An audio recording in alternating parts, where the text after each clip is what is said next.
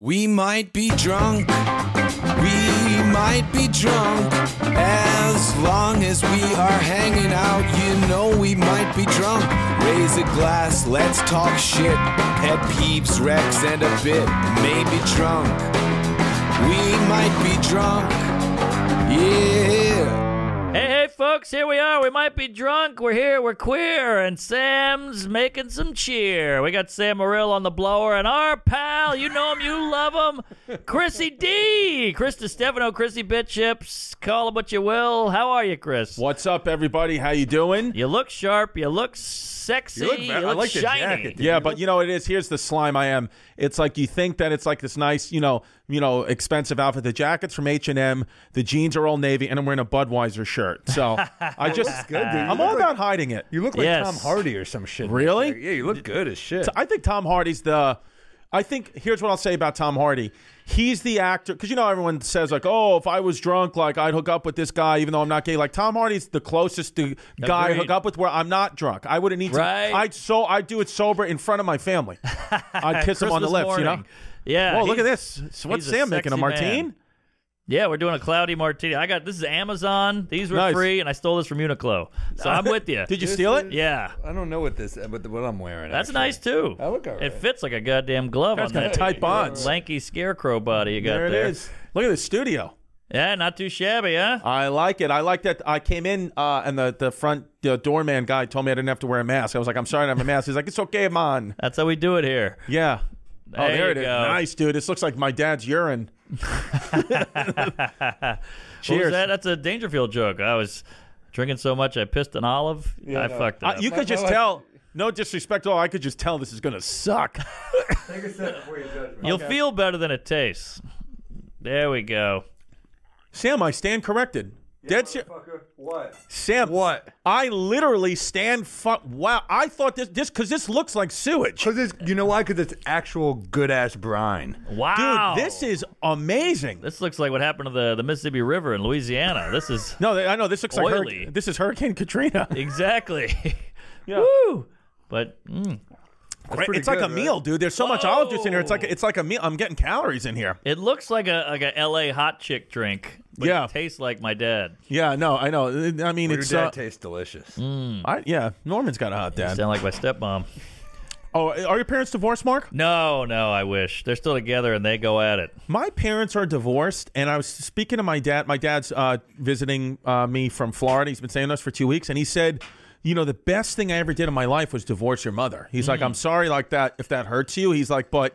Really, like you wouldn't be, I wouldn't be proud of you if I was still married to your mom. He's like, I, yeah, he was Why? like, he he just think because he was just like, my life was going nowhere with your mom. He's like, and your mom's a good person, and I'm a good person, but we just weren't good together. And I think that the best thing I ever did was divorce her. That's he goes, fair. he goes, and it, you know, 37 years later, I'm, I'm so. I'm, I, he said, I would never be as happy as I am as a human being if I was still married to your mom. I'm with the D- Louis C.K. has that great joke. Every, when he got divorced, I was like, "I'm sorry." He's like, "No, divorce is great. It's He- the best thing you can do." Because I bet you somebody like Louis or anybody like you know when it's not like the divorce came out of nowhere. He was probably waiting to do that, or guy, Yes. you're waiting to do that fucking for good. years, and then when it finally happens, you're like, yeah, I'm out of jail, kind of thing, you know? It's a Right. weird thing. It is weird to tell you, like I'm, I'm a better. I wouldn't be proud. I get, I'm happy. I get. Right. But I wouldn't be proud. as a little. That's well, heavy. well, what he was saying was what he was saying was he was I'm like I meant like be he said mother. because because he said I think that I was able to be like a, a good dad to you because I was not in a negative headspace with because I was not with your mom. Ah, that makes if I were sense. with your mom, he said I would have just been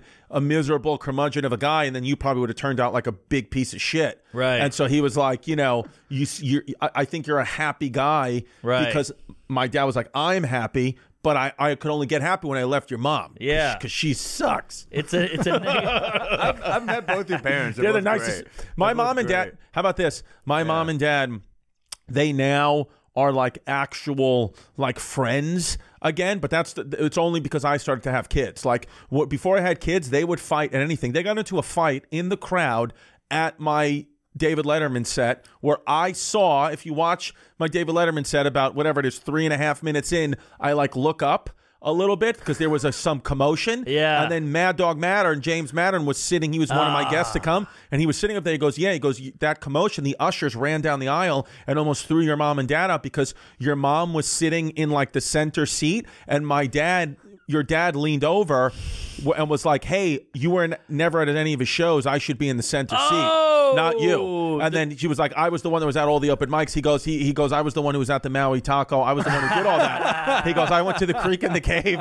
He was like, "You didn't do any of that." And she was like, "Shut up, Tony. He's on stage. Who gives it?" And then because James, Get to your closer for fuck's I know, sake. I know. right? Mad, Do- Mad Dog Mattern was sitting in between the both of them. So my, my J- James was the buffer between my Ah, dad and poor my mom. James. I know. I would say this if I'm your therapist, they're making your Letterman spot about them. They got to be there for you right there. I know, I know. and then my mom ran down the stairs and pretty practically pushed me out of the way so she could get a picture with John Travolta. he was the other guest. You talked to Travolta, right? I, yo, no, listen. The thing is with a guy, the, with a guy like a John Travolta, somebody I know just met Tom Cruise Hmm. and said that like there's an aura uh, to them, like like you understand why they're famous, like there's something magical Yes. about. And Tim Dillon said the same about Alec Baldwin. Tim Dillon just did uh, just worked did something with Alec Baldwin. The he said podcast. you get he did his podcast. Said you get why he's so famous. Travolta has that thing where it's like it's a presence that I I, don't have. We don't have you know. So it's like so he, they have it where you're like, oh, I get why Hollywood was attracted to this person and why they're like this. This is something otherworldly Yes. because he had me in one of his trances. That's what they do. He had me in a fucking trance. I saw him. I was going up next. You know, he had just finished his segment. Then there's like that commercial break, and I'm standing there by that curtain, you know, waiting to go out. I could see the set. I'm like sh- shitting myself. And he walks past me, and then he comes back. He goes, "Whoa, you have on a beautiful suit." And I was like, "Yeah." I was like, I was like, I, I, I go, it's from Joseph A. Bank, and he was like, oof, and then he kind of, he was like, oh, you know, and I was like, I had bought it off the rack in Suffolk County, Long Island, a day before because eh, I don't know if you remember, remember didn't like, get it tailored. remember like out of our group, like of guys who like started like Che was the first one to get like Letterman, and everyone was like, he wore jeans, Right. And then I was like, oh shit, I was going up two weeks later. I was like, I got to get a suit, Yeah. but I don't own a suit, Right. So, so I, I so I just bought this pu- bullshit suit that was too big and he goes um he goes this is you have such a beautiful suit. And i was like wow. I was like thanks. And then he goes um he goes uh he goes so so are you nervous? And i was like a little bit. And then he put his hand on my chest like without like just put his hand like right in the middle of my chest. He goes why is your heart beating so fast? I was like because you have your hand on my nipple. That's his pickup line. yeah, yeah. Yeah. And then he goes, and then he goes, and then he goes, um, he goes, just calm down, breathe with me. And I was like, What? I swear to God, dude, this my mother's witnessing this, This is whole a Me thing. Too. He goes, I know, oh, 100 percent. He goes, he goes, wit, you know, he goes, um. He goes, just breathe with me. And I was like, okay. And he goes, you've done this already. And I said, no, I haven't. I'm going up next. He goes, you've done this already. And I go, no, I'm going up. I almost like, I almost like got angry because I, you Yeah. know, when you're anxious, I almost was like, no, fucking stupid. I'm next. Like, Yes. I'm, I'm paralyzed with fear right now. Yes. So I put my, and he goes, no, you've done this already. And I said, Wow. I haven't. He goes, no, no, no, you have because you're set had to be vetted, I'm sure, by David Letterman and all his bookers and Yeah. producers. I'm sure they don't just let you on. So you've done this set, you've practiced The famous people think that Letterman is watching our set. Yeah, yeah, yeah, Right, yeah. right. David Letterman was like, "Thanks, Frank." Like he didn't give a shit. Conan O'Brien's in the room like, that guy Yeah, right yeah, there. yeah, no, it's that's not how it happens. So There's a booker. But he says to me, he goes, um, he goes, uh, you've done it already. You've been vetted. Producers, they don't just let anyone on the show. He was like, so it. The hard part Our is next over. guest, Paul Mercurio. yeah, I know. He goes, you know what's so crazy, dude? Dude, um, the guy who's the guy Eddie Brill, who was the warm up yeah. comic, did one of my bits that I was later gonna do In the on warm-up? on the Letterman show in the warm up. James, I had all these texts ah. from James Mattern. You know, I, I don't dare look at my phone. Sure. I had all these texts from James Mattern. Hey man, don't do the R word bit. Don't do the R word bit. That I, I oh, oh, oh, oh, I'm not R word bit. A bit where I add R's into words that don't need R's. Oh, He was doing it based off like a Boston accent. You used to I- call it the N word bit. yeah, exactly. I love Joe Rogan. Yeah. I'm starting a podcast with Neil Young. It's called We Both Never Did Rogan. I'll be a guest. yeah, there you go. Yeah. Um, so so Get Joni Mitchell. there it is.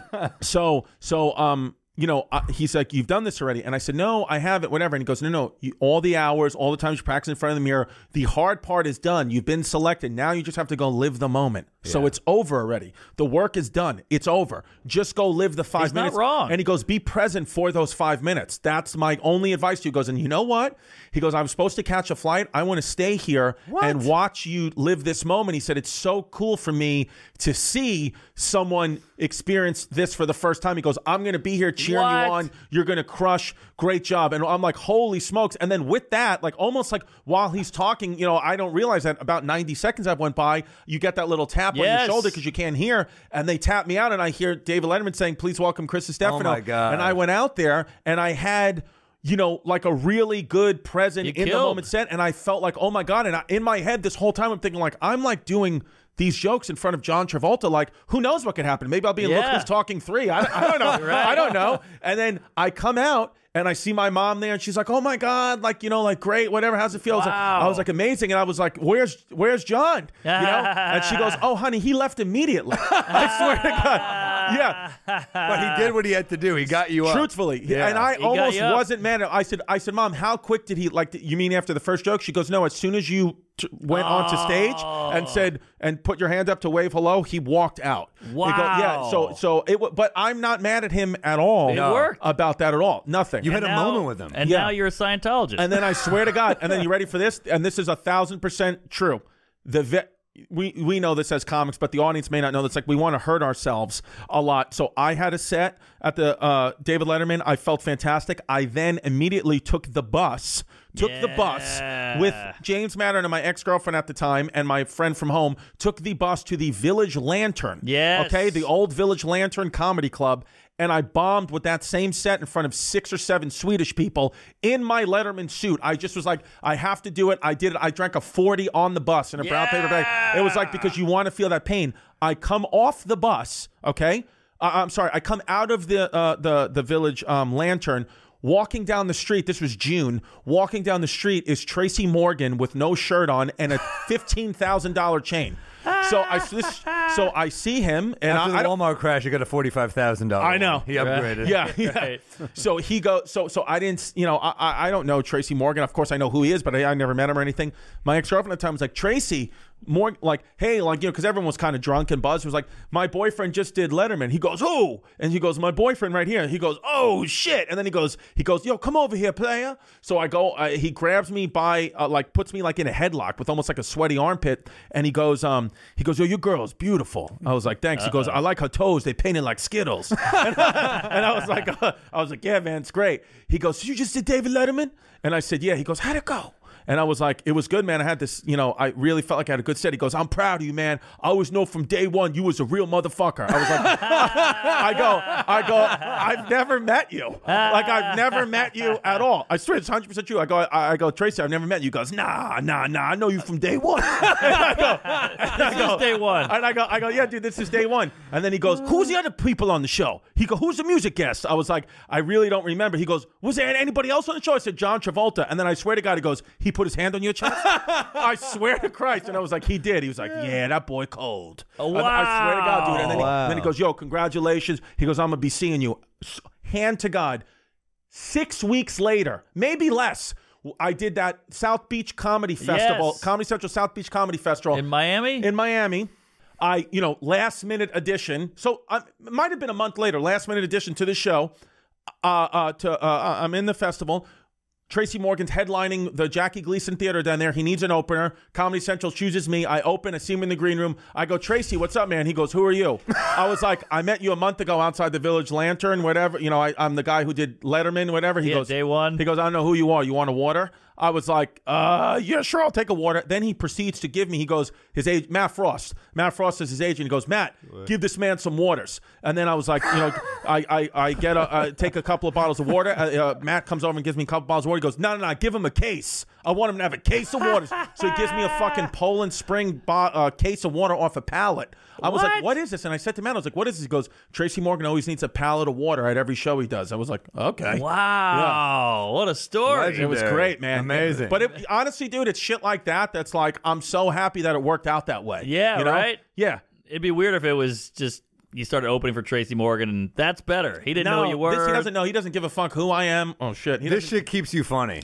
The- Yeah. being the butt of the joke keeps you funny at the end of the day. yeah. Yes, the bus ride, the forty. I love the idea that your parents are fighting at Letterman. You're and Letterman's like, "Why'd you get into comedy?" You're like, "Right there, Right there. That's it. That's us two Yeah. fucking mooks." Oh yeah, oh yeah. Well, like I, you know, just just this past weekend, I did the Beacon Theater, and it was like a beautiful moment for me. Sold out, whatever. N- not even close. Uh, the by far the biggest ovation was when I brought TT Jerry and Homeless Pimp onto stage.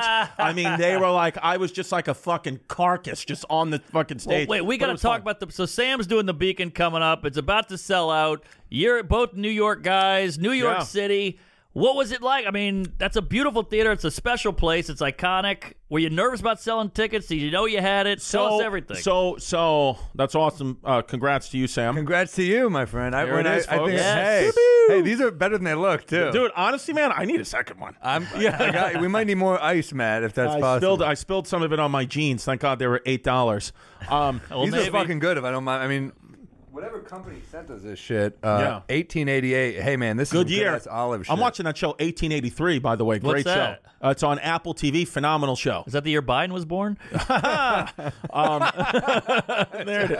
That was all right. Yeah, it's not bad. Um, What? What? Trying to keep him joking here. What? Uh, what is it? so 1883 is a show about Oh, yeah, look at Sam this. Elliott's in it. Um, Tim Oh, McGraw. Yeah. Um, it's a really fucking fantastic show. Westerns are back. And there's I'm like a you. scene, like a random scene in the show, like so random, where they do a flashback to when the main character, Tim McGraw, is fighting in the Civil War for the Confederacy. And some he's like on the battlefield at Antietam, which is like a very bloody Civil War battle. And he's on the battlefield. It says flashback to Antietam, whatever. And he's like, and a Union Union soldier, captain or lieutenant comes over and is like talking to him and he's like it's going to be okay. Like i'm you know i'm not going to kill you. I'm not going to hurt you. And you're like oh whatever. And then the camera pans up. It's fucking tom hanks. Whoa. tom hanks just in just a random bit part. And then the same then the very next episode they have a sheriff that like comes in and kills everybody and the sheriff's billy bob thornton. And then they never co- Hey. they, neither one of them ever come back in the show again. It's like it's like just keep showing your toes. Then the next like scene, uh, uh, John Travolta touches his chest. He's like, "Why is your heart beating so fast, yeah, So, i know. It- soldier?" It's a fucking great show, man. 1883. It's it's it's connected to that show Yellowstone. Uh, like yes. Yellowstone. Yellowstone. Another so- Western. So I got Mark on Yellowstone. so Yellowstone. it. so are, how far deep into Yellowstone are you? I just started the fourth season. okay, so the fourth season. So I think. So do you know like when you know when Wait, they flash don't say back? too much. No, no, I'm not. I'm not going All to give all anything away. But you know when they flash back to you know Kevin Costner's John Sure. Dutton when they flash Sure. back to the 1800s. Sure. That's this show. That's an that is this Ah, exact so this show. Every show's got an uh, uh, uh, alternate universe, or not alternate, uh, extended universe. yeah, you have to Right, now. right, right. That's the only way to make money. You know. I yeah, mean, they got to be shit, man. familiar. Everything's got to be familiar now, or nobody watches it. Wait, so let me tell you about the Beacon. First of all, the one thing about us being New Yorkers, Sam, is what, and I don't know, but what, what, not that I, I, I don't want to, I don't want to say regret this. I don't, but what I wish I would have done a little different, but I guess I can't. is- Okay. is, the guest list that I, I, I had because it's from New York.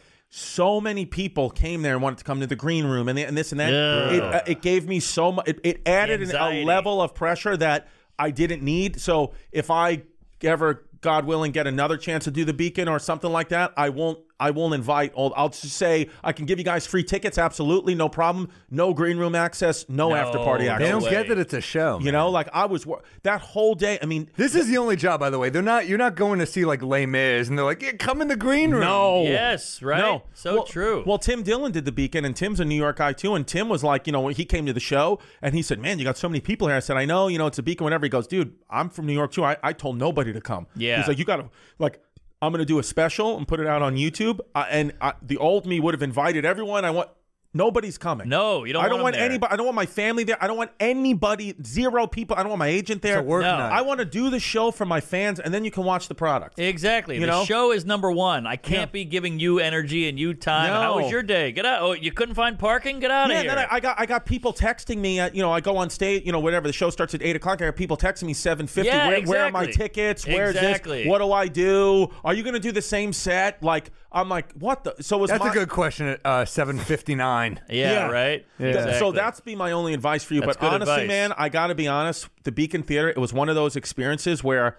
When I was about to be brought on, James Mattern, uh, Sergio Chacon featured, he crushed, and then James Mattern hosted, and he, he's just like such a great host. best. When, Amazing. when he was about to bring me up, it was like one of those things where like I just forgot all my material. Like it happened. Like you know, I'm sure we've all been in that situation where like I just was like, oh shit, I don't even know how I'm going to I've open. I forgot, but it was like it's almost like a good thing because like my brain almost like zapped out and like started with a blank slate, and Mm. I just came out and was like so in the moment Yeah. that it be, by the time I got the light at 50 minutes. I thought, like, I remember in my head thinking, I'm probably at about 20 now. And then James was on the side with the light for 50. I was like, that can't be right. Whoa, that's a and then good it was sign. at 50. And then I did like it, you know, normally when I do a set, you know, I'll get up to, you know, 55 minutes, whatever. I'm like, all right, let me start winding it down. I must have did 80 minutes on that stage just because it would just kept, they're so loving, you know, Yes. like They're and it- your people, and they know it's a Yeah. it's a big. Uh, they big had night fun, man. They had fun, and then they and then I was like, after I was done, I was like, man, that should have been my special. But instead, I'm going to do it at New York Comedy Club. Well, you know, Yeah. well, you want do- the club do- atmosphere too. Yeah, but also I think to shoot in a, a room that big is going to to do right. Got to cost Well- like 150 grand. Well, right? that's what they said. Well, I was going to do my special in Puerto Well, you're Rico. the same agent, and I'm sure he gave you the same rundown that he gave you. Well, well, I was going to do my special in Puerto Rico. now that would really stand out. because I was going to say, oh, you know, I'm doing it on YouTube in Puerto Rico. I was going to say to my, I was going to say, listen, you know, these people, you know, like, um, uh, uh, you know, Netflix doesn't want me, Amazon doesn't want me, Showtime doesn't want me. I want to go back to where I'm loved, where the people love me. Puerto Rico, the Puerto Rican government wants a hundred grand for any. They don't theater- love you either. I was like, I guess y'all don't love me. yeah, right. Y'all forgot. What Chris, Chris was going to open with "I feel pretty," Yeah, and no, then I was. I was going to come out fucking just throwing paper towels into the crowd. what? You know what you got to say? Hey, look, we'll have a cockfight first, and Yeah. then it'll be free. But I do, you do a thing that I do too, and I like we got to cut it out. You, we act as like underdogs and stuff, but it's like Yeah. you're doing so well, dude. You're Yeah. crushing it. Like it's cool. But to- it's he it- earned it though. It's not Well, like no hey, one's he got saying he tapped didn't on the earn it. shoulder No by one's uh, saying- some fat guy with a cigar. Like you're in, well, kid. no one's Joe no one- Hollywood here. Well, no one. Look, Joe Hollywood. You got to you got to get in with that guy. But let me tell you, you did it the right way. You did it through your own base. Bro, we're doing the mics together. Look Yeah. at us now. Yeah. Yeah. Look at us now, drunk on uh, weird I know. looking Look, yeah. martinis I made. Drunk in a fucking weird studio. I know we're drinking With Flint homeless water. people. I knew you'd like the Patrick Ewing thing Dude, there. So Patrick, let me tell you my Patrick Ewing story. Ooh. So I got two of them. He's got any. You could feed Chris anything, and he'll have something. I'm dying to hear your Harvey Weinstein story. He touched He's your innocent. chest, and he said your heart's beating so quickly. So Patrick Ewing, my very first Knicks game, How old were you? nine, ten. Okay. The thing, sports for me, why I, why sports is so special for me is because it was an incentive when I was a child to do good in school. My father would say, Mm. if you do good in school, if you listen to your mother, if you do this, whatever it is, you will get tickets to a Knick games, you will get tickets to a Yankee game. So sports was incentivized for me. So that's why I fell in love with it. It was because that's how my father, you know, got me to do what he needed me to do. So you know, they were like, i i you know, if you pass these, get these good grades, and we're going to take you to the Knicks Magic. That was the first game I went to. Shaquille O'Neal's Magic Wow. versus Whoa, Patrick Penny Ewing's- Hardaway too, or no? Yes, yeah, Yeah. That's a big one. 1992 Orlando Magic. So Penny, uh, that that that finals team, right? Was uh, were they, They the were fi- the finals in like 94, 95, I think. so yeah, but that's but you. They beat Jordan. definitely Penny, definitely Penny and and uh, and Shaq. So and Scott Skiles for sure. So He, so was, he was a killer. so I was a little kid, you Yeah. know, early 90s. You know, we're sitting, you know, whatever, upper deck seats, whatever. Patrick Ewing goes baseline and like tomahawk dunks on Shaquille O'Neal. And I was like, oh my God. And then he like, you know, Shaquille had like fallen under him. So like uh, Patrick had to like hang on the rim a little bit. So I go, Dad, I like stand up. I was like, I was like, Patrick Ewing. I was like, Dad, look at him. He's swinging on the rim like a big monkey. And I went, like that because to me it looked like a monkey and my dad was just like pulling me down pushing me down Yeah. and everyone was like looking over at me like whatever and then my dad I I there's a Oh, thing where I don't know if I tried to do like misremember this because I thought it was like a, a, a, a funny or I thought it was like some type of defense mechanism but I'm almost positive like I would be willing to say I'm 95% sure this he really said this is he looked around because he got tense like Oh, it- really? it got yeah because I just yelled up and said he's like a monkey and went ooh ooh ooh. Well, ooh, the ooh. blackface didn't help. Yeah, I mean, yeah, and you, then, know, you know it's bad when you offend Yeah. early 90s New York. yeah, and then my dad. I was gonna say it was 92, 93. My dad like said to like the general group around me, he goes, "My son's retarded." Oh. Hey, good save. Good Not save. special needs. Nothing. He goes, my son's retarded. So he made it ten I like. times By the way, by the way, his save is now would make it ten times worse, right? Yeah.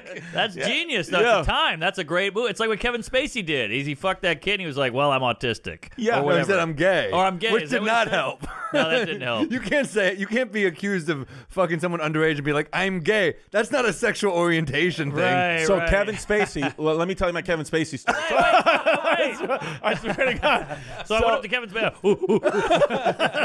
so so this this this was you know five six years ago i had did i somehow got involved i forgot how i initially got involved but kevin spacey and cal ripken jr the, the baltimore orioles you know Sure. iron man hall of famer Oh, my God, they yeah, had some type of foundation down in washington d.c and they i got hired to do uh to open the show that they were doing like this rally or, or this fundraiser or whatever i got hired to open the show Wow. and cal ripken and How many Ke- years ago is this? this is maybe six, So seven. pre-cancel. No, no, no, yeah, no. There was no nothing about Kevin Spacey. It might have been months away, but Kevin Spacey was. I mean, he was being. He was a Kevin Spacey. He was a god. God. A legend. So, One of the best actors. ever. Great actor. Oh, yeah. And funny guy. so, so. And great game. Cal Ripken, which by the way, Cal Ripken Jr. If you're not a baseball fan, Google him. His blue eyes are like. It's a little like. Pull it's it a little Matt. traumatizing. Like to look. piercing. It's insane. Pull Cal it up. Ripken- Cal pull, pull up Cal Ripken Jr.'s eyes. Man, he must have really gotten laid, huh? Get wet. Didn't his mom get kidnapped? yeah, like What? yeah, it's something weird. They got her back, I think. Yeah, they got her back. But Cal Ripken, Whoa!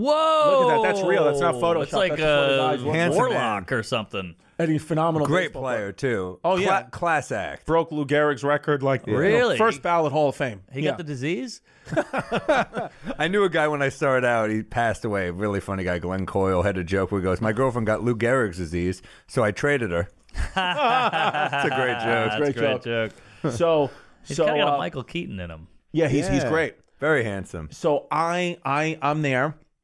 And first of all, Cal Ripken, I do my five minutes, which is like, you know, bullshit five minutes opening up this thing. Cal, Cal Ripken goes, he goes, man, I don't know how you do what you do. That I don't have the balls to do that. I was like, you literally are one of the greatest baseball players of all time. Like, what are you talking about? He goes, Yeah. nah, stand up's harder. I It's was a like, different thing. He goes, stand up's harder. I go, Cal, it's not. okay. I was like, dude, you're you're a, for, like, But big- to us, it looks. I mean, obviously, Yeah. baseball is harder. But to us, to them, that must be like, Yeah. that's not what they do. Think about the repetition of just swinging. Right. It's like it's antisocial. Yeah, right. Right?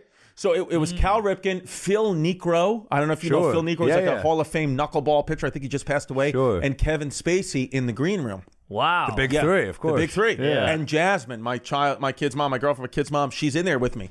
And it was like, you know, we're there. So she sees all this. So Kevin, so Phil Niekro and Kevin Spacey are doing like, like horrifying, not horrifying to a comic, but like if it ever got out, like audio leak, like wild jokes, like Yeah. racist, sexist, like crazy shit. But you're like, whatever, who gives a fuck? Green room. Yeah. But then Phil, uh, uh, Kevin, Spa- this is pre Spacey turns to a camera.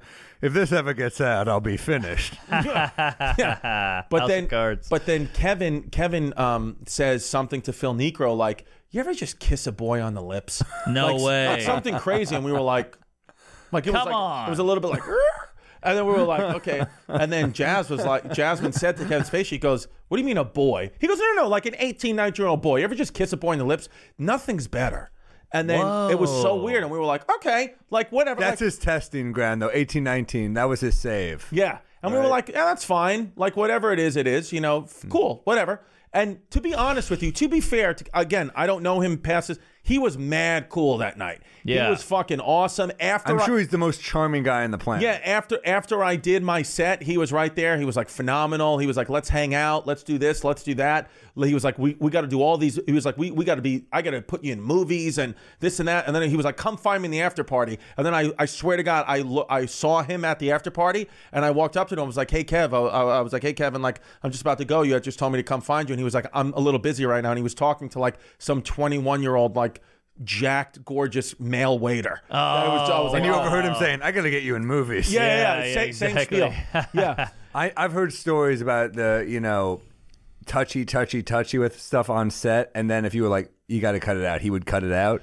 But if you didn't say something, he would he would keep that going. Well, for well, sure. the, the, the, the, the reason why I bring it up is because again, no judgment. I, I don't know him. I Sure. other than that, but but we I remember I remember in the car going back to our hotel that night. Jasmine said to me, she goes, "Kevin Spacey's like a little we- like it's a little much with him, right?" Mm. And I said, "Yeah." I said to be honest, I said, "But I think that's all how Hollywood actors are. This is pre Me Too stuff, so whatever." Sure. And then when all the shit came out about him, Jasmine right away she was like, "I told you that that there was something off about that guy." I So- was on uh, Jim and Sam right when that I think it was the week it came out. Yeah. With Jon Bernthal, who was in Baby Driver with him, and Jon Bernthal was just openly like, "That guy's a piece of shit." What? Be- before it came out. Oh, no, while it came out, and, and Jon was like, "I've never talked shit about an actor. He's a bad human being." Really? And he was like, not nice to the. He like, talked publicly.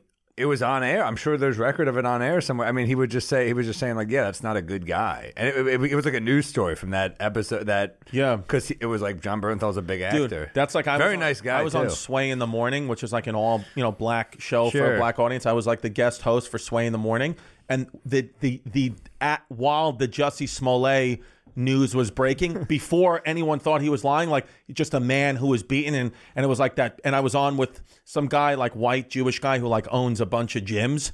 And he goes um Sway was like you know everyone went in the room how do you feel? I was like oh it's horrible. It's you know this and that. But whatever and then because you know the story did sound horrible and then they got to me and I was like I don't know if I believe it Yeah. and they were like and they uh, and they were like what the fuck Ah. they were like and nobody like scolded me but like but you see they're like that's that white shit with white people like they don't believe everything and blah blah Right. blah blah and then it came out like two months later that it probably was made up because I was like it doesn't seem real because my I I said I, there's proof of this. I said it on air I said because at that time they were saying two white uh they were saying the news White was saying supremacists. two white supremacists had said you're, that, you're that you're that Bleach. you're that f word f- from Empire, Empire. and Who I said there's that? no way white people are watching Empire No. that's what I said right on air You're, you're Yeah. not. You're not. A, you're not a MAGA white supremacist guy, and watching fucking no Empire. there's no yeah. way that's happening But that's bald, ball, ballsy of you to do that in that black room. Right, yeah, but I was trying to do. I was that was my bid. I was like, "There's no way they're doing that on Empire." Like That's a funny bit. Yeah, I was just doing it, and they were like, "No, like no, nobody." It wasn't like bad. It's a but, tough angle to take when it's when it's the jury's still in or jury's still yeah, out. Right. I texted Sway two months later. I was like, "Apology?" Question mark. What do you say? We left it on red. Ah, No, no, Sway's my boy. I love Sway. all right. Sway's one of those guys who I started. He taught me like when I was hosting like shows in 2014, 2015. He just gave me like the best advice, the best tips. Really? Like, yeah, Sway. If you ever get a chance to like work with Sway from Sway in the Morning, Sway Calloway, he's like the truly like one of the best. I've guys. seen some of his interviews. He's great. Great And, you know, interviews. interviewed Obama four times. You know, like he's like a personal friend. Like Hey Obama, if you're listening, you got an open invite to We Might Be Drunk. we'll get whatever booze you want. Look, I fucking we our bartender didn't make it tonight. She's Puerto Rican. We know what Chris does to Puerto Rican women, so we told her to stay home. Honestly, that's better But- for me and my family that she didn't show up. yeah, she's, she's a good looking lady. No, but we Is she? uh, yeah, yeah, but we Oh, but boy. we you know if you're into that sort of thing.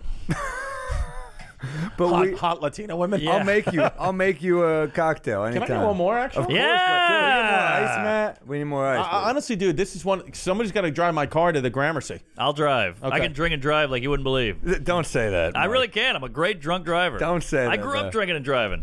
I'm from Louis. I'm from New keep Orleans. digging a hole here. no, I'm I'll telling you, tell I've never had a DUI. I've Dude, never I gotten pulled realize over. I was. And this might be boring, but I was watching today the this this story of the frontiersman, and like I didn't know the history of the American frontier. Like I didn't realize like the historic significance of New Orleans. Like Oh, yeah. whoever controlled New Orleans in like the War of eighteen twelve, like there would be no country if there wasn't New like the French had to give up New Orleans. So so I didn't know if you know this. Napoleon.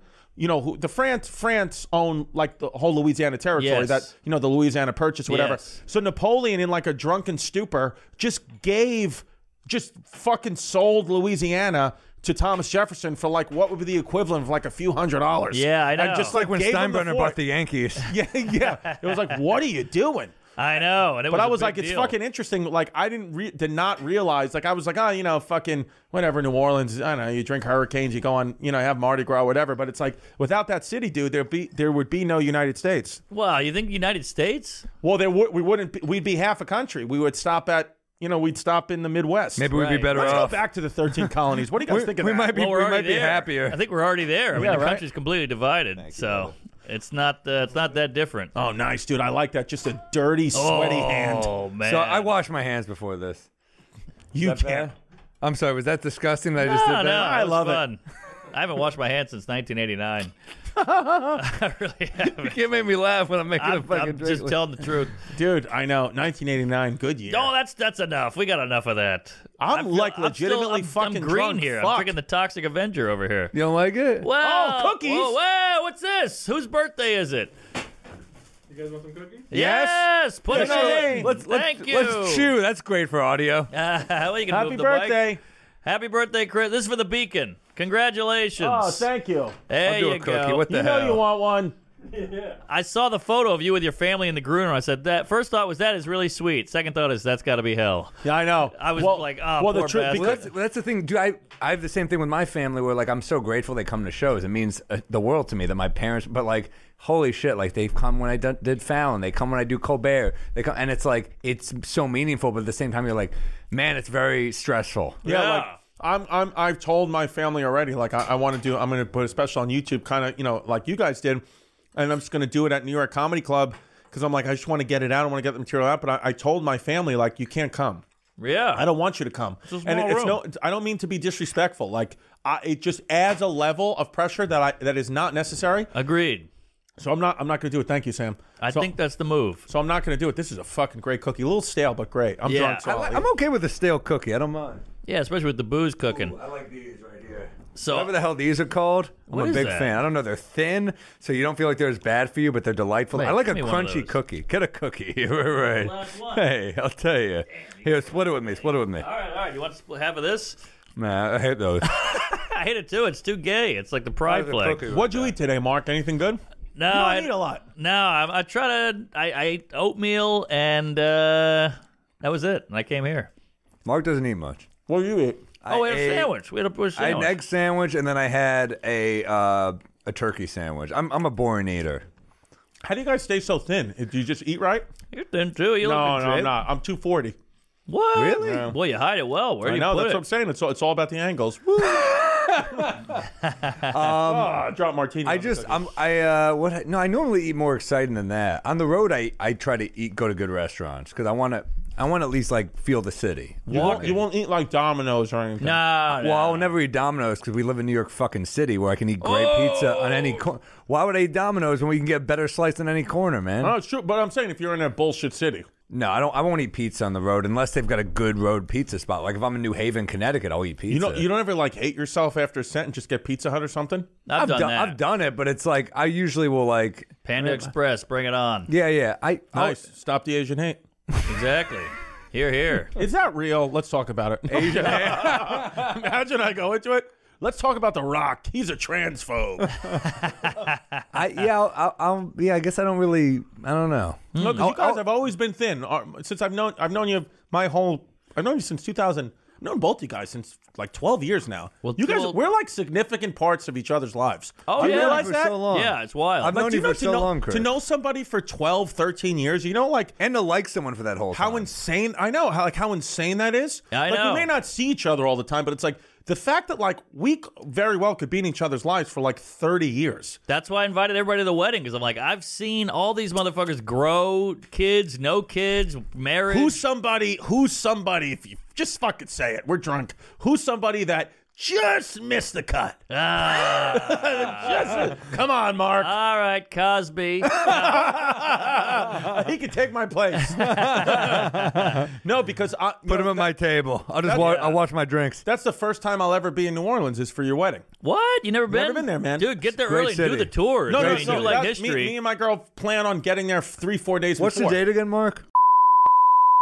All right. Do we bleep that? I heard don't that. know. I heard that's a good time to do it because it, it's not so oppressively hot. It's the best month of New Have Orleans. you tried these olives, by the way? oh yeah, what do they have? Blue cheese in them or something? Yeah, dude. Yeah, it's great. Do they really? We Might Be Drunk is sponsored by BetterHelp Online Therapy. Relationships take work. A lot of us will drop anything to go help someone we care about. We'll go out of our way to treat other people well, but how often do we give ourselves the same treatment? For me, working out or buying some new sneakers is an investment in myself. This month, BetterHelp Online Therapy wants to remind you to take care of your most important relationship, the one you have with yourself. We're in therapy. We go to the same guy. It's necessary. Clean out the garbage. Your head has all these horrible thoughts. Splice in your childhood, traumatic experiences. You're a wreck. You're a mess. You need therapy. Get out the garbage. Whether it's hitting the gym, making time for a haircut, or even trying therapy, you're your greatest asset. So invest time and effort into yourself like you do for other people. Tell them how. BetterHelp is online therapy that offers video, phone, and even live chat sessions with your therapist so you don't have to see anyone on camera if you don't want to. Maybe you got a weird boil on your face or something. Hmm. You're weird, you know, you don't want them to see that. You're all set. Yep. It's much more affordable than in person therapy, and you can be matched with a therapist in under 48 hours. Give it a try and see why over 2 million people have used BetterHelp online therapy. We Might Be Drunk is sponsored by BetterHelp, and listeners get 10% off their first month at betterhelp.com slash drunk. That's E B-E-T-T-E-R-H-E-L-P dot com slash drunk. You got to do this. It's, it's therapy, very important. Take care of yourself. It's going to change your life. Here, here. We Might Be Drunk is thrilled to welcome our new sponsor, Fanimal. I love live events. I hate buying tickets. The hidden fees suck, and coordinating with your friends is a nightmare. They're garbage. I always end up fronting a bunch of money and chasing down my friends to get reimbursed. Not me personally, because I'm very generous. Oh, But if they flake, I'm stuck with the whole bill. And then I discovered Fanimal. Fanimal has tickets to everything. There's no fees. The price you see is the price you pay. That's, I mean, that's pretty big, honestly. Yeah. Not only are those prices transparent, but they're almost always lower than anywhere else I look. And for any hot ticket like Coachella, a Laker game, or Dave Chappelle, Fanimal is always the cheapest option. Nobody gives, nobody goes to live events anymore. So why buy tickets alone? Fanimal, although if you do come to a show alone, there's nothing wrong with that. Honestly, I love that. Uh, someone yeah. tweeted me about that the other day. They're like, "I want to. Is it weird? My friends bail. Is it weird if I come alone?" I said, "No, dude. Enjoy yourself." Yeah. And you know what? The guy made new friends at the show. There he tweeted me go. after. He's like, "I sat with these guys and they were tweeting me too." So you end up having a great time no matter what.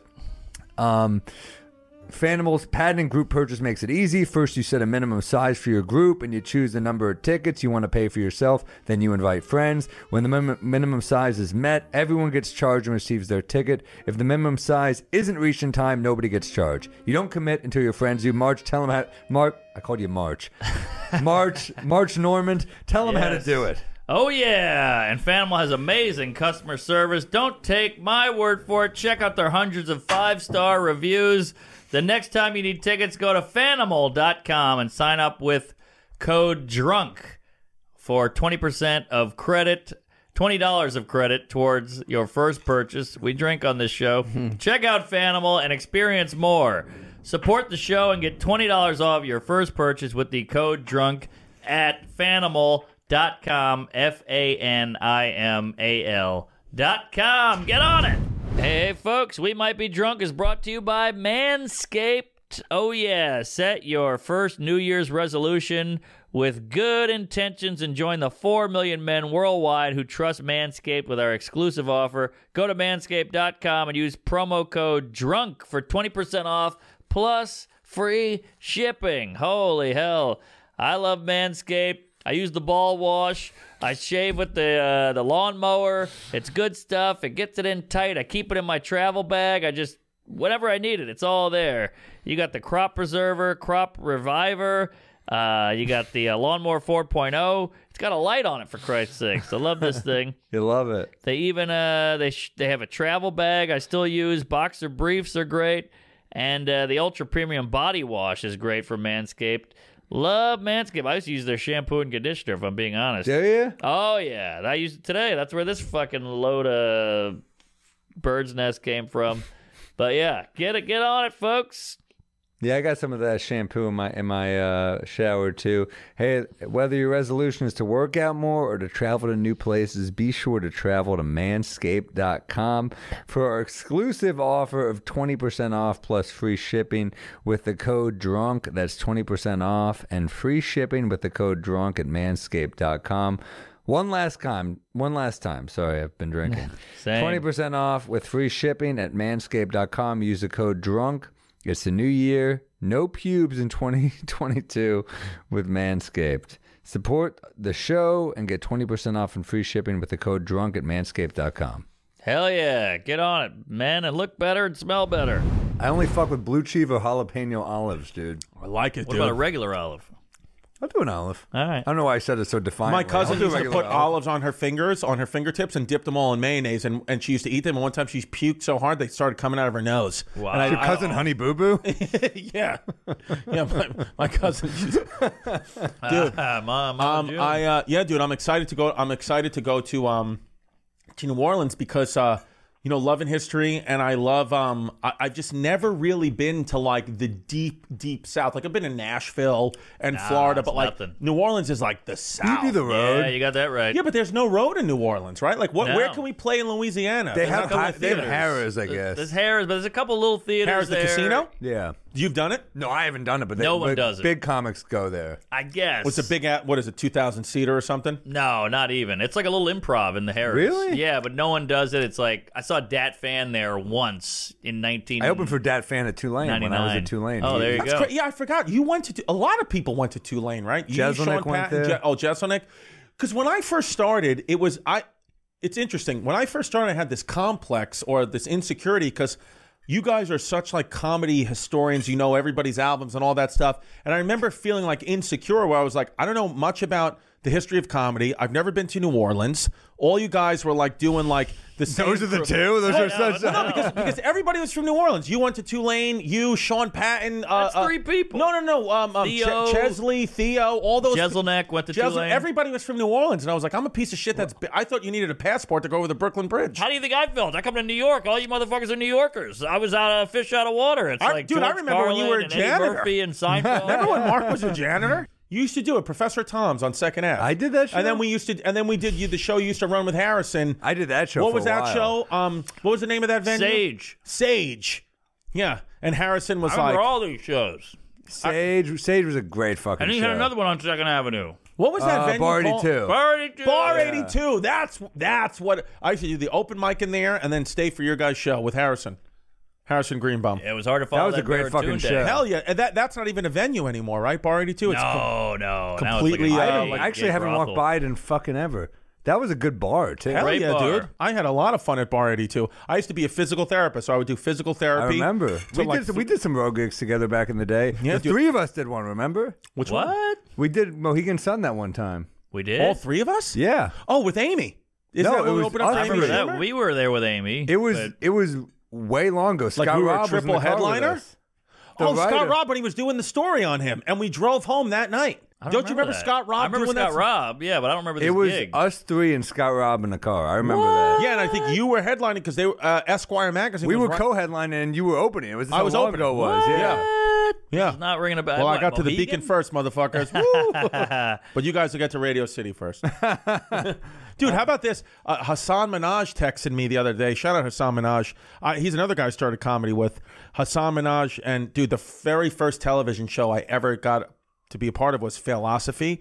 And uh, it was on MTV. Hasan was the host, and fucking Kevin Barnett was was my was the panelist. Me and Kevin were the panelists. R.I.P. Kevin, great I miss guy. Kevin so much. The great, Great. Kevin Barnett. I love Hilarious Kevin comic. Barnett. Killer would have been comic. huge. But he would have Hasan, huge if it Hasan didn't this is pass what away. a beast fucking Hasan Minhaj is. He texts me last night. He goes, "Hey man, are you around to do a set February 25th to 27th? I'm doing some shows in New York." I said, uh, "I can't do 25 or 26. I'm on the road, but 27. Just let me know the venue." And he writes back, "Radio City." I was like, wow. "You're doing a weekend at Radio City?" He goes, "Yeah, I got five shows there." I was like. Dude, you're throwing that around like a fucking like like it's an improv. Yeah. he's just doing five at Radio City, just Right. banging them out. I was like, What is that? Twenty thousand? No, 5,000. no, six thousand seats in Radio City, so I thirty bombed there seats. once. I, I opened Did you for, bomb in Radio City? I opened for the uh, MTV Music Awards. Wait, at so he's Radio doing City. I'm gonna three- have another how many shows is he doing? five. And So that's sold what out, I'm man. saying. It's I'm twenty shocked. He's huge. I thought he'd do No, more no, than no, that. uh, no, uh, no. Hasan, Hasan is. I I think but Hasan's I'm saying gonna do the Garden. If you're Yeah, doing he's huge. if you're doing five And a great guy. shows in a six thousand seater, that's thirty thousand. Thirty thousand. Oh, that's crazy. bigger than the Garden, Who which is the twenty Garden? thousand. He's gonna. He's huge. Like I'm not shocked at all that he's doing that. crazy. He's That's big. my goal. I would. I, that is my goal. If I could just get to do one, I don't have to sell it out. One show at Madison Square Garden where I'm the headliner. That would be my goal. You'll get there. Well, Yeah, you'll get there. I Oh, mean, the come on. Garden now feels like uh, like a funny bone in Albany. I mean, it's like Sebastian's doing thirteen of them. Louis did ten. Burr did a couple. It's just Schumer did one or two or three or four. Did you open for her there? Yeah, I had to follow Madonna. Fun Oh, yeah. fact. She looked great, by the way. Yeah, would you? Did you have the fake ass yet? Yes, she Nice. did. Best sex. She's of a my fake life. ass. Oh yeah. Pull up Madonna's ass. I mean, it's wild.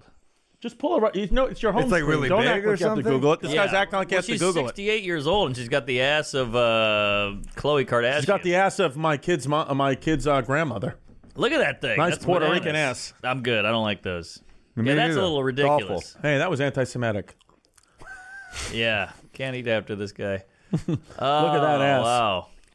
No, she didn't have that ass when I saw her. I gotta That's say, a nice And she's butt. got a decent But ass. I um I, I I think that um you know because what I heard about Madison Square Garden is you don't really have to sell all those tickets because scalpers buy them immediately. Sc- right away, scalpers buy the tickets. Book it, dude. That's what I Let's heard. do it. Dude, Book it. book the garden. Yeah. Should us? Should the three of us do the garden like we did fu- with, and get Scott Raab back? the band. Shout out to Scott Raab, man. Great writer. Is he still with us? Yeah, yeah. He looked I- like a guy who was who could die any second. He second. lost a lot of weight. Did COVID kill him? No, I'm kidding. Oh, he lost a lot of weight. He looks great. Oh, he For did? Scott Raab. Yeah. Shout out Scott Raab. Yeah, Great- Scotty. great Did that piece ever come out on you? I don't think so. He was No? thinking I about tried doing to a kiss book. him on the lips. He, he touched his heart rate. I like. No, he, he no he uh he wrote a great book. He's written a few great books. He's I remember really- Scott Raab on, on that drive home was just a really cool, nice guy. Sweet kid. Yeah. Good, good egg. Yeah, I like Scott Raab. He used to buy me diner meals, and he was like, "I don't know how you run around like this," because he was a big guy, and I'd be like, "Ah, yeah," and he would get cabs everywhere because he didn't want to run. So Well, it was dude, great for me. That's the thing too, is like you know, like just now, just recently. I think it's the same for all three of us. Is we just the tickets are starting to come and the podcasting and all that we found. But it's like you know, like people don't know, like you know, from 2009 to like literally a year ago, it was slaving. Like Hell. like like I mean, doing. Sh- I remember, dude. I, I used to go and op- I went up. I was a physical therapist, and I drove all the way to Delaware just to do five minutes in front of Mike Vecchione. He graciously gave me twenty bucks, and then I drove all the way home and went right to my day job. Like Yeah. that. That's like sometimes I'll get messages from up and coming comics or whatever, and be like, "Hey, like I have a day job, and like it's just so hard. How did you do it?" And I'm like. Man, if you're already messaging me oh, that, like you're never gonna make it. Like, Yeah. I just, I just was like, there's no excuses. I just want to make it so bad that I'm Yeah. like, I'll just. Do, I I drove all the way up to the Boston Comedy Festival. You Festival. were always a hustler, man. Thursday night. I'll never forget. Thur- Thursday night, 2012. Drove all the way up to the Boston Comedy Festival, uh, the first round, to try to do five minutes just to get to the second round, which would be the next week. To you know, to win a bullshit prize, whatever. Just do anything. I got immediately eliminated from the first round, like immediately. Just Do you remember who beat you? I drove? Adam Newman. Ah, that's Yeah. hilarious. I just gave him chiropractic advice in uh, Adam Newman? Yeah, Where he- is Adam Newman? All I right, miss Adam easy Newman. Jews. Does he live in New York? that's like He's in LA. Spock. I miss he, uh, Adam Newman. He's a nice guy. He was another guy. He was part of our whole Caroline's. circle. He was always at Well, he's an Caroline's. LA guy now. Yeah, no, he's he's he tweeted something how he needed a chiropractor in LA, and I was like, I Good got you. man. Yeah, what are you I going to physical therapy for? By the Uh, way, my neck. I have two herniated discs in my neck. in your neck. Yeah. Shit, how'd that happen? Eating pussy. Uh, yeah, I just ate a lot of pussy, and it just it took a toll. I mean, I Hey, was it just- happens, I man. was. They said you were you're the best ever, and I was like, look, if this is the toll it takes, then I'm I'm down. So Yeah. That's Uh, like one. I swear to God, one guy he came in when I was I was a physical therapist. He came in and he had a herniated disc. At, I think it was C five or C six. that's what I got. That's mine. So C. So this is funny. So C five, C six. He comes in and he's like, he's like, um, you know, he has this big herniated disc, whatever. And my boss, this wasn't me. My boss, who goes, um, he's like, you know, doing that. He's like, how do you think this happened? He goes, oh, he goes, um, he goes, uh, I think it was, you know, lifting up my kid, or maybe it was swinging a baseball bat. And then my boss says to him, he goes, he goes, you sure it wasn't uh, going down on a woman? Really? And the guy and the guy goes, uh, the guy goes, yeah, I think it was going down on a woman. You know, like whatever. He goes, it was going down on a woman. He goes, well, historically, statistically, if you if you herniate C five or C six, it's because you're sucking cock. Like just joking around, like just full, like just a joke, Yeah. whatever. Ha! And the guy goes, yeah, I am gay. like that, like, and he was like, okay, no problem, like you know, like whatever. And I was like, it. and like the guy, like who said, yeah, I am gay. I was like, it, it was a moment where like it was laughed off, but like I had the angle. In like he truly like came out of the closet to us and was like begging for help. I was like, that guy's fully gay. Yeah. and just was like, yeah, and like I was like, I was like, yikes. We were just, I mean, hey, whatever you want to do, but Yeah, yeah. yeah. Wow. But When I we'll was- lay off your alternative lifestyle for a few weeks because we're trying to help you here. Dude, so and that was Kevin Spacey. One, cra- I know. One crazy physical therapy. Well, two crazy physical therapy stories I have. One, um, this was 2011 maybe Yeah. guy comes in back pain okay just back pain just generalized back pain so you know you learn all the tests to reproduce you know being a physical therapist is a lot of times people haven't come in with mris or x-rays yet so you have to try to reproduce their pain and then it kind of you work backwards to figure out how did this injury happen and then that can dictate how i treat you Right. so this guy came in with this generalized back pain i'm doing all the tests that i've learned and because there's even tests to know if somebody's faking it for like a workman's Ah. comp there's even tests that we learn how to do that to be like aha like you're lying and then you know we can you know we, we won't let you you know get away with that. Yeah. and and um and all these tests are are like not working. Like everything. I'm like it's not workman's comp. It's not this it's not that. What the hell's going on with this guy? So i had i was a br- you know i was a licensed physical therapist but i was new so i call in my boss who's you know 30 year professional and i say hey like uh, jim I, I don't know like what's going on with this guy like it's embarrassing but like can you come in and help and he was like absolutely like you know whatever you're a new student like you new therapist like yeah i'll come in so we go in he's doing he did every test i did he's like can't figure it out. So he says to me, he goes, What's going on here, sir? He's like, You know, you just be honest with us? Like, what's going on? He goes, I don't know, man. I, I hurt my back. And he goes, Um, okay. He's like, But is there something else like that's going on? Like, a- any information w- would help us. We want to help you get out of pain because he was in excruciating pain. You believe him, or you wanted some pills? Uh, well, I, I, at first, I, that's where I was going. I was Yeah. like, maybe this guy wants pills. So, in the physical therapy office that I was working at at that time, there was also uh, a medical, an orthopedist that had an MRI machine and an X-ray machine. So, you know, everybody was pretty close. So he says, you know what? Let's go get you an MRI. This way, I can at least see the tissue and whatever. So, you know, we, we don't go into the MRI. That's, you know, another professional's job. The MRI or X-ray tech comes out and gets the doctor, the orthopedist immediately and comes over and he's like, "Blah, blah, blah, blah," and we're like, something's like, maybe it's a tumor. I, I don't know. Like something was serious. So then my boss and this orthopedist are friendly. So they go over and they start laughing. They're looking at the picture. They're laughing. And I was like, the fuck? So I, they, the guy, my boss, Jim, he goes, Chris, come here, come here. This is like my second week on the job. He goes, look at this. Look at this. It's a gerbil. No, I didn't know what it was. No, no, it wasn't that. It was a matchbox car.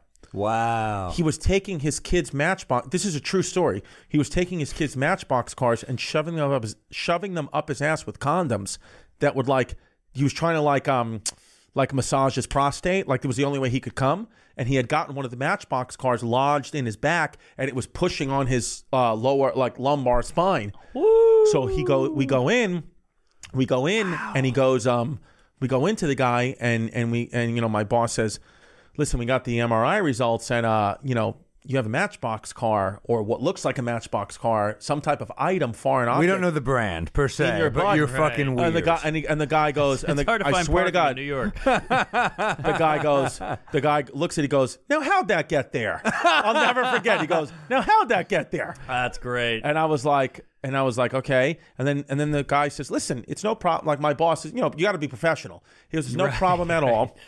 He goes, um, but you know, you're gonna have to get that surgically removed. on top of My that, ass hurts listening. no, but that. on know. top of that, on top of that, m- my boss then, you know, says, you know, listen, can you just disrobe so may- maybe I can get it out? You know, if it's- what? but when he disrobes, he sees he has a full like like rat like it almost his his dick and balls look like purple. oh my Huh. god. So we're like, what's happening now? So so you know, because now like the multiple store- cars, traffic. yeah, yeah. So he goes. So he goes. Um, he goes. Uh, is that bad? And my boss says that looks like a sexually transmitted disease. And he goes. And he goes. Oh, but I'm only. With, I've only ever been with my wife. He's like, well, you know, you might want to talk to your wife. And the guy boy. goes, yeah. I, I got to talk to my wife. And then like we're doing the exam, and then like five minutes goes by. He goes, I've had been having sex with prostitutes. You think that could be it? And then my boss is like, Yeah, I'd say that's it. Yeah. He goes, "How can we keep this a secret?" And then my boss says, "You know, there's, you know, it's it, it's it's cli- client, you know, uh, client privilege. Like I'm not gonna, we won't say anything." He goes, "Yeah, but I need medicine. I need medicine to." Get rid of this disease that I have. I think it wound up turning out he had like gonorrhea or and chlamydia. Like he was fucked. yeah. So he says he was at that time one of, and this is way before the presidency, one of Donald Trump's lawyers. Whoa. So he says to me, because I was two, three weeks onto the job, he says, Hey, you're a young guy. I was single at the time. He You're goes, representing Stormy Daniels. yeah, yeah. He goes, "Would you mind kind of putting this STD medication in your name, and then I'll come pick it up Oh, from your house. I'll pay a thousand dollars a week for it." Hey. And so You can't do I, so though. I was like, that, now it was just me because my boss had left to Oh, go, wow. you know, get a hot pack or whatever. So he he kind of what, and I didn't know what to do. I was 24 at the time. A thousand dollars a week sounds pretty good, Pretty good. but I, I didn't know what to do. So in that moment, I kind of made a decision. I said, I said, hold on, like let me think about it. And I went out, and it's the only time in my life I ratted. I ratted, and I told. I told I know my father's like you fucking rat. Yeah. I, I told my boss. I said this is what happened. He goes he goes into him. He goes get the fuck out of my office. Like like they were friends. These people. He goes get the fuck out of my office. He goes you're gonna you're gonna do this to a young. He goes this guy this kid just got his license. You're gonna you're gonna ruin his entire life because you want to fuck prostitutes. He goes get the fuck out of my office. I never want to see you again. Get the fuck out. And the guy wouldn't leave. And then the, my my uh, boss goes, "You want me to call your wife right now and tell her what's going on? I have her number too." And then the guy was like, you know, pull up his pants, whatever, and he goes, he goes, you know, you could have like just ruined your whole career if you would have done that. He goes, you know, that's malpractice. That's you know, code of ethics. You could have done everything, you know, ruined your whole life. And I said, I know, like, thank God. I was like, you know, and he was like, you know, you want to, you want to do this for twenty years, like, you would have ruined your whole life. I was like, absolutely. About 10 days later MTV called me and were like, "Hey, we'll offer you we will offer you an overall deal if you quit physical therapy tomorrow." I went and I said, "I fucking quit."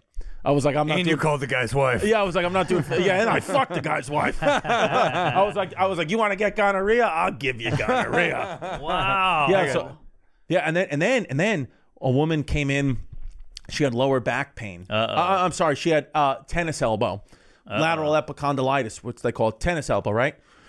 So she's got tennis elbow, treating her for two hot, like 40 year old divorcee, hot.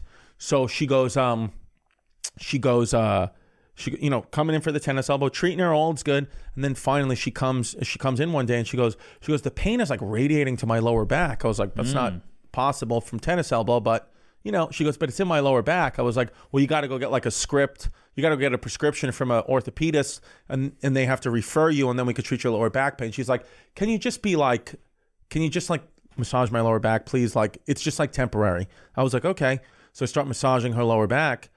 And she goes, "Can you do a little lower?" I'm already on like the top of her, oh, like boy. they're called like your sits bones. I'm like, which is like those like dimples that you see over like a person's like Love the butt back dimples. back dimples. So I'm right there. I'm massaging my thumbs, or whatever. She goes, "Go a little lower." I was like, "I was like, ma'am, that's like your butt." She's like, "That's where the pain is." Oh, so I was like, "Okay." So then she goes, I'm massaging it for a little bit there. She goes, "Lower." I was like, I was like, "Come on!" Like I was like, "Are you serious?" She goes, "You're 24, 25 years old." She was like, "You don't want to massage a hot 40 year old's lower back?" Wow. And I was like, "I do." She was like, "Well, then do it." And then I would start like going lower. I was like, "You sure this is okay?" She was like, "I want you to do this." And I was like, "Oh my god!" She goes, "Does that door lock?" I was like, "I think it does." Jesus. Who's I Matt swear to God, Lauer's dude, wife? I had a fucking boner through my khakis like you can't imagine. And she goes, um, she goes, just go lower. So I kept going lower and lower and lower, and then I got to like the top of her pussy, which was like soaked. And she goes, stick your fingers in it. And I was like, oh my God. And then I swear to God, Is this a penthouse forum? I don't Dude, believe this. I finger, I like put like my finger, like I was like, this is crazy. So I put my fingers in her, and she goes and she, and she like grabbed my cock, which like I said was rock hard. I, I remember I had Dockers khakis on, and they were like ripping at the seams. Stain proof, thank God. Yes. And she goes, just unzip it. So I unzipped it, and my fucking boner just like popped out like bing like Yeah. that. And she sucked it four times. I blew a load Four right in her mouth. times? Yeah, like just Oh, like oh, four four strokes. Dude, you know how hot that is? Four Yeah, strokes, and I just blew a load in her mouth. Wow. She was like, "Oh, you're such a baby." I was like, "Don't say that." And then she, and then, but I had wound Better up say having- that after than before. I know. I, I I wound up having sex with her like three or four times. After In the room? No, no, no, no. Oh. Like in oh. later in life, but I was like, that was one of the craziest fucking stories hot, hot older woman. Hot older woman and I, I for the life of me and this is a good thing i cannot remember her i remember her first name not her last name Wow. Yeah. Ladies, see how easy it is? It must be nice to be a gal. That's female privilege. well then i told my boss about that again 30 years of experience he goes ah your first one i said i said my first one he goes that that happens every six months in a, in in an office like this i was like really he goes yeah he goes he goes they you know a lot of times like these women like you know you're, you're you're helping them you're giving them something their husband or or if they're single that they don't get and you're good at you know you know you're helping them ease their pain. I was like, yeah, but isn't, I was like, but isn't that wrong? He was like, yeah, it is, but he was like, fuck it. That's healthcare. Oh, I was like, okay. yeah, isn't up, sticking a damn fucking matchbox car up your ass wrong? Sure, Yeah, I but was we're like- here to help people. We're Damn human it. beings, God damn it! I Good was for your like- gay's anatomy. Oh yeah, dude, gay, gay's anatomy. Gay's anatomy is what I should name my special. That's a that's a that's a gay porn right there. Man, what a story! That's hot. I'm was- turned on. It was hot shit, man. Man, a Damn. lab you put a lab coat on, a woman will do anything. Four sucks. That's the name of your next special, dude. Yeah. Four That's like sucks. one time I was like maybe 22, 23, walking down like 6th Avenue ish. Like, you know, like that part of the West Village, kind of by the comedy cellar where it's like, I don't know where the even, what, like all the streets fucking Yeah, intersect. yeah, and I'm like, I don't even yeah. know. It was like around West Fourth Park. It's not a grid anymore. Yeah, I don't know what the hell was words. going on. Madness. It was like made before cars. So I'm walking out. I'm walking down the street, and my boy was with me. I'm walking down the street, and it's like you know 10 o'clock at night, summer night, and uh, you know way before comedy, I was just in the city hanging out, and um, a woman comes out like uh, you know what didn't look homeless, didn't look crazy, nothing. She comes out. Of an apartment, she goes. I just need to suck somebody's dick. I have to suck. Some, I swear to God. What is she, this? She was This like, I, feels like an MTV show. I swear to God. She goes. No, well, that's what I thought. I, Suck it or not? What she goes, I just have to suck somebody's dick. I thought I was on Punked. The Punked was popular at that time with Ashton Kutcher. She goes, I just need to suck somebody's dick. I was like, Oh, I was just, I was just there. Me and my boy were just there. And she goes, you boys want to get your dick sucked? And and and I was like, we both were like, what? She goes, She takes on, the mask off. It's John Travolta. yeah, yeah. I was like, yes. And then she literally got on her knees at 10:30 at night on whatever street that was and sucked both of our dicks Come on. for like we, no, neither one of us came, but it was like two minutes, and then she w- walked away. There's eight guys booking a flight to New York right now. I know. It, it- You're, you're gonna save this economy. yeah, it's true. What? Yeah, that that those are like that. Those are like moments in my life where I'm like, I, uh, was that real? Did that Right. really just fucking happen? My virginity was like that. A lady was on the on the balcony flashing on Bourbon Street. We looked at her. We said hi. She said, "Come up," and that was how I lost my That's virginity. fucking nuts. Every now and then. But see, for a guy, this is like a godsend. For a woman, this is a a you know victim moment. It's Yeah. fascinating how different it is. Well, now I've gone to an age, I'm 37 now, and maybe I've had enough sex or enough sexual experiences in my life where now it's like, I- know this sounds like gay and weird, but like, I really, like, if I was single, like, I really would, like, rather be with a woman because of her personality than her looks. I feel I'm getting old too. I'm 38, and I feel The similar. comments are exploding right now. Yeah, like I get the fake tits, I get the fake ass, I know what a blowjob feels like, I know what it's like to have sex with a hot woman from every. I get it. It's Yeah. like, can I have a conversation with you? Like, do you want to talk about history? Hey, I- man. I, like history and shit. Like, do you want to Well, do that? It's fascinating how I mean, you have to be somewhat attractive. Well, like, sure. We're normal But people. it, like men and women trade places with age. Like when we're in our you know teens and twenties, it's like I'll fuck anything. I'll fuck a blow up doll. I'll fuck a dumpster, whatever it is. And then women are all like, ah, I need a personality. And then women start getting horny at thirty, whatever. Yeah. And then men get a little more like, I need a person. I need to talk a to somebody. point. Yeah. they flip. It's Yeah. fascinating. You What I'm trying to say is, we get older, woman. we become better.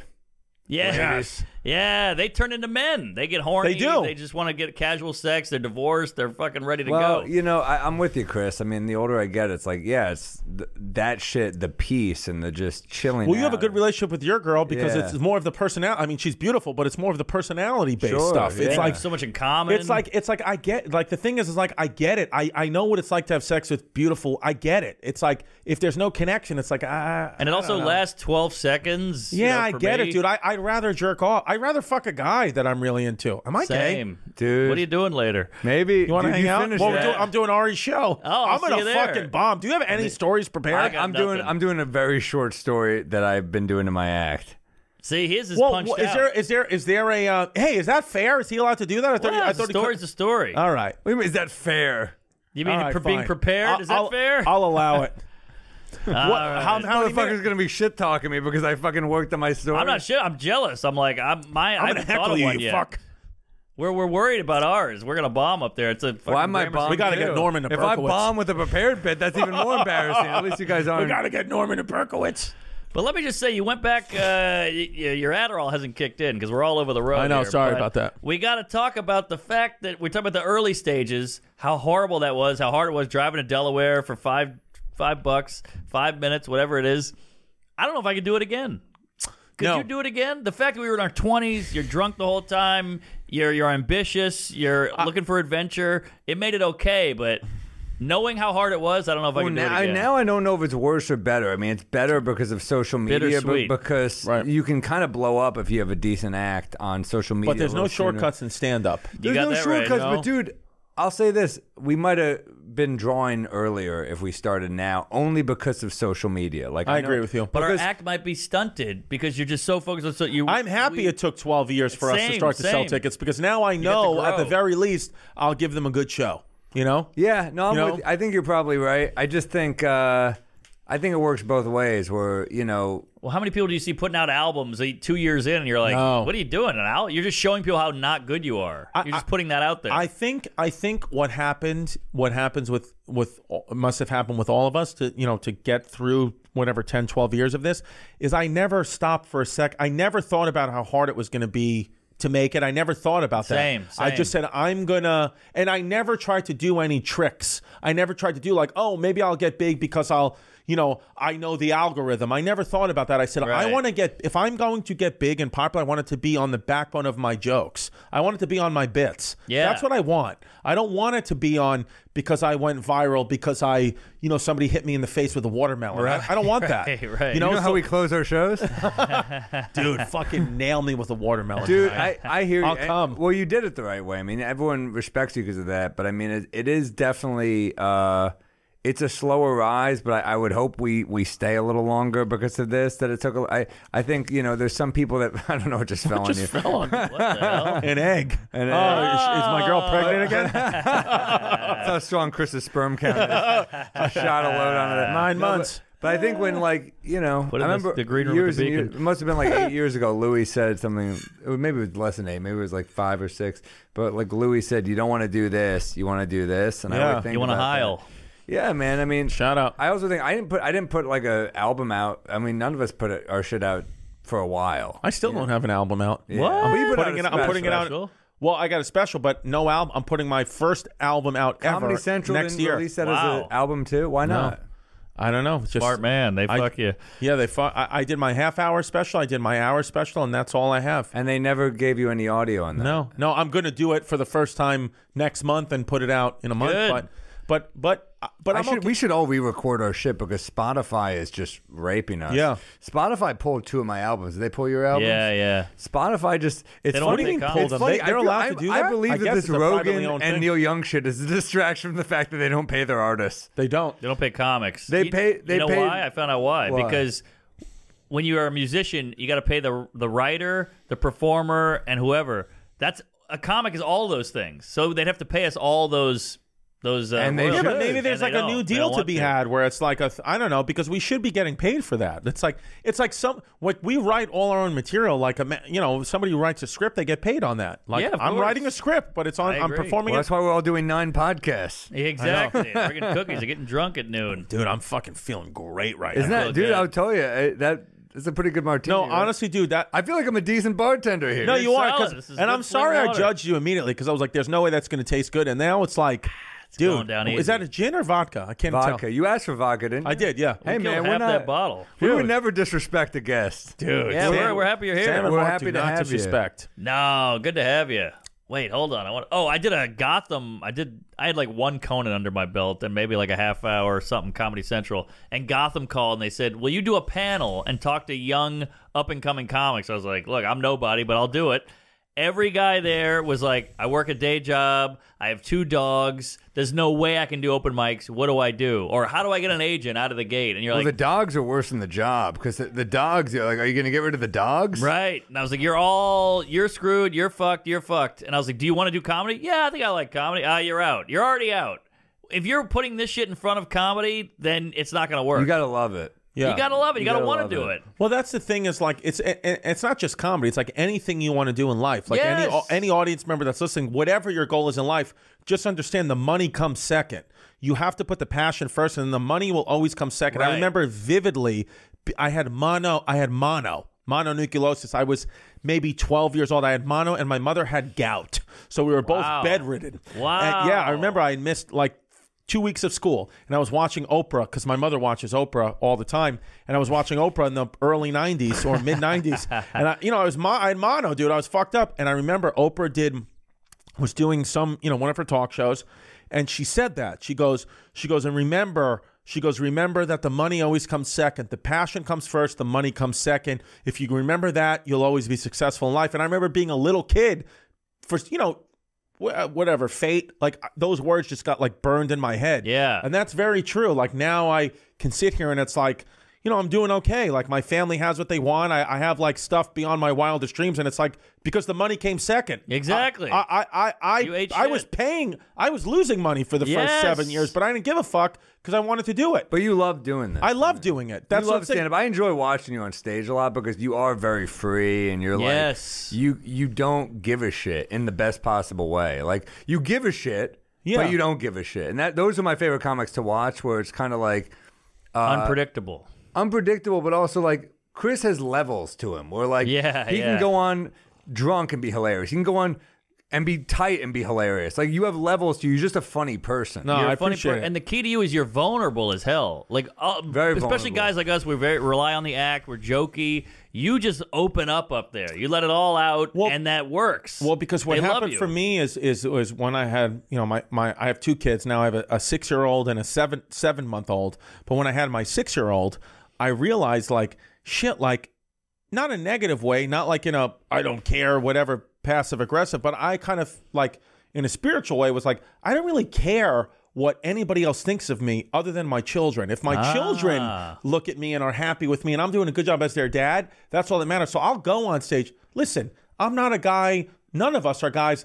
I don't think you can be hateful and funny. There's no way Hitler was funny. You know what I mean? So it's Right. like so it's like when people get quote unquote canceled or Be a real comedian- bummer if he was. Oh, imagine he ah. fucking ripped. Oh, Like like dude, like Hitler, terrible person, but like he he's pretty witty. yeah, like, Yeah, I know, yeah. I know. You're like going into the Holocaust. You're like, it was a good joke, though. Like, he fucking killed it. He's giving a speech, but thank you just for the weather. It's nice. that was funny. Just, yeah, but but so I so I realized like you know like. I, I'm not a hateful person, man. Like sometimes my jokes, like you know, like I'll talk about race or this or that. I'm like, I'm just being. It's always coming from a place of what I want to be funny. Yeah. So I kind of got over the fact of like some people might get offended at that. Like whatever, man. Like you know, I do jokes about. Uh, I did a joke about a, a kid, one of my nephews who had a peanut allergy, and all these people who are parents of children with peanut allergies were attacking me, being like, "You're a piece of shit." Like I hope your kids die What? and all that. And I'm like, whatever, man. Like. I, I don't I don't want anyone with a, a peanut allergy to be affected negatively. I'm just making fun of my truth. Yeah. That's They all really I'm doing. They really do. Wow. No, they're really, Wow. they're really react, and that's the problem with the internet is you react without thinking. Yeah. But I mean, what you're doing is you're trying to put something positive into the world. Your intent is pure. Yeah. And these are people who are like, I hope your kids die. Yeah. Take a step back You don't see before the you irony? write that. Take Yeah. a step back before you write that in print. Exactly. You psycho. Put you. They just they just go off emotion. They just go off reaction and just type. It's bad. news. That's pure. That's pure hatred. That's the irony. Yes. They're mad at you for they think you're being hateful. yeah. They're act. It's vitriol. The, the- Yes. the, best thing I ever did for my um, psyche, I guess, and it, it does. I don't do this all the time, you know, because Sure. it's such an addicting thing. Social media, it's just like cancer, like a cigarette. Like I really do think science will look at the internet and social media like. You know, in 50 years, like we look at like cigarettes, you know, how science looked at cigarettes now. Like, you know, there used to be ads for cigarettes when we were children. There were ads promoting cigarettes. Like, I think social media's got like that, you know, corrosive property to it. But the f- best thing I, because there's no way around social media. We have to do it, right? and it works. So we have to do it to sell tickets. What I do though now is I post the thing I need to post for the day, and I do not look at the comments. I do not worry if it's bombing. I do not worry if Really? it's not getting uh, uh, uh, enough interaction. I don't do it. I say I made the decision to post this. I stand by it, whether it crushes or doesn't, and I do not look at it again. I don't care what you've said. so hard to do that ghost. because it's so hard to do that though because as comics our job is to edit based on the response so that's Sure. very That's true. difficult i mean like our acts are like oh i don't care what you think well then you're a bad comic but with social media i get what you're saying it, it is a different thing you kind of Yeah. do have to stand behind stuff it's going out to the world, not a comedy audience. sure So yeah, it is different. But I get both of your points. You're both right. well no i tough. agree with him i'm just saying it's interesting because it is with what we do it is a different Yeah, it's a well, very because Yeah, my, different because thing. my cool to whole see the thought is numbers. like my whole thought has been like, you know, having kids. I'm like, what am I going to do? Sit here and obsess over comments or not? It's like I I, I, I got to feed my kid, man. Kid is I, I gotta, one. I got to push my kid in a swing. Like I I I can't. I don't care what you have to say because Yeah. also the truth is is I believe, and this is again not just comedy. You know, it, it, to comment positively or negatively on anything is a psychotic kind of person. Like Agreed. Ninety-five percent of people Don't discourage s- positive comments. well, though. positive is good. we love you guys in the YouTube Thank comments. you. Well, YouTube's different. I mean, like on Instagram, it's like I, you know I comment on you guys, like people I know, like this is amazing, whatever. But it's like if I don't know you're a complete stranger, to comment any, anything on me is like crazy. Where it's like even the people who message you and like, hey, you know, you've helped me through a tough time and blah blah blah. I It's all- appreciate It's all no, no. I appreciate it. It's all beautiful. I appreciate it. I do appreciate it. But you have to understand, like, even that is a level of a mental ill. Like, you don't want to interact with that. You Mm. don't want to do that at all because, uh, listen, the 1975 are a, a band that I love. They've helped me through breakups. They've helped me through. I love that Great band. band. I've never once, and I have, the, you know, Alex Edelman is a guy or a friend friend of the show. I'm sure Alex Edelman opens for them, knows them personally. right? Yes. I didn't know I've that. never once even messaged them, asked for anything because it's like it's psychotic. I don't know them. Right. If they somehow, if I found out somehow, oh, they heard this bit or that, but okay, fine. But it's like they're just helping me. I don't need you to kn- know that. Like, Right. but so it's like it- it's this thing where I realize about the internet. But if they reached out to you, wouldn't you feel good? oh, 100 percent, I would, but they wouldn't because they maybe their They assistant might. would. They might. But that's the whole thing. But maybe they would. What if? What if they're like, "Hey, I like your stuff." I think it's just a, a polite. people, too. Hey, uh, I loved your thing on that. Is that okay?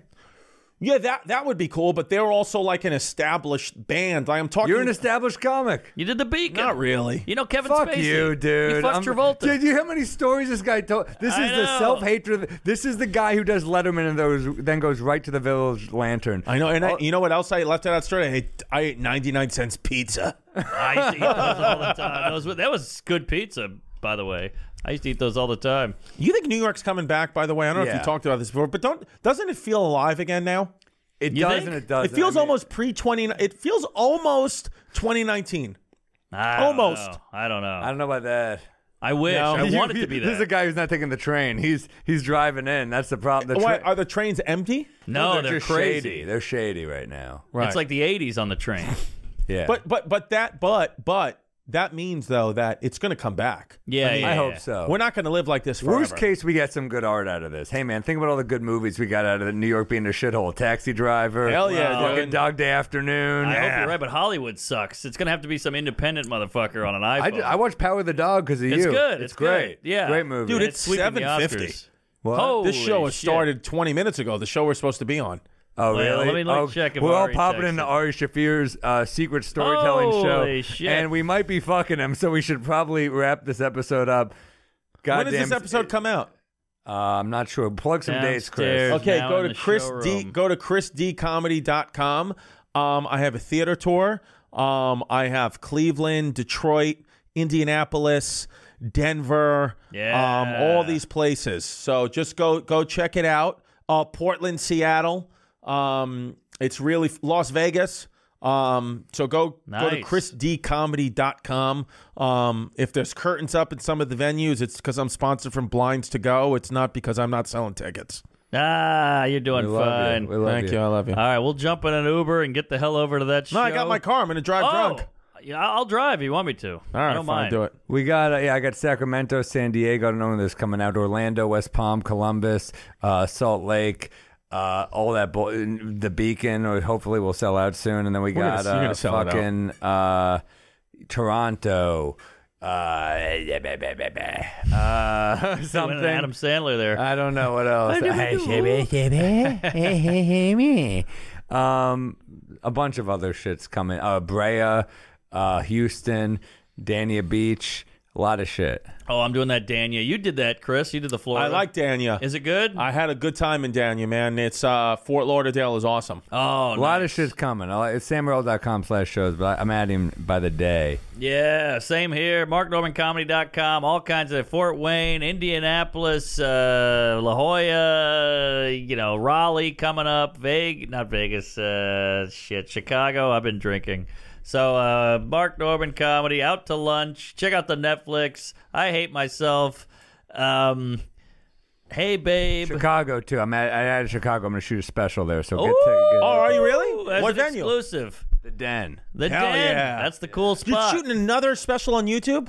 Yeah. you Dude, you're a see? fucking monster. He puts it out. He's a machine. I mean, hey man. All We'll right. see. We'll see. You heard it here first, folks. Thanks. Keep keep drinking. Patreon, get on it. We got new merch. Check it out. Go gay. I love you. Praise Allah. We'll see you in hell. Trump Thank you. 2024. Sunday's a day for my next bender. A bit of Kiva wreck, you know the beer juice close.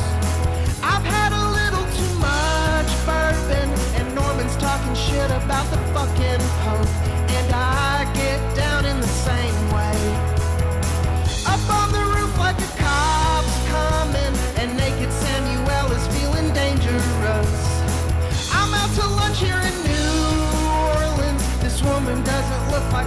remember her.